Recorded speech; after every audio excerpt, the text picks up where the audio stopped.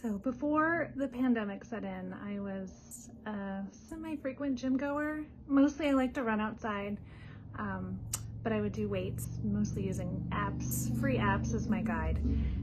And what I realized after the pandemic set in was that I had zero motivation. I could no longer go to the gym, I had no equipment. Um, I was starting over. Um, so connecting with Tina was so lucky because she was able to meet me where I was in terms of skill level. I slowly built up my equipment roster just from trips to Target.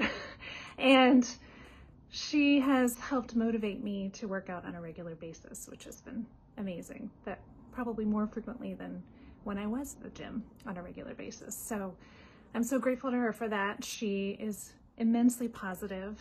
Um, she celebrates every win, big or small.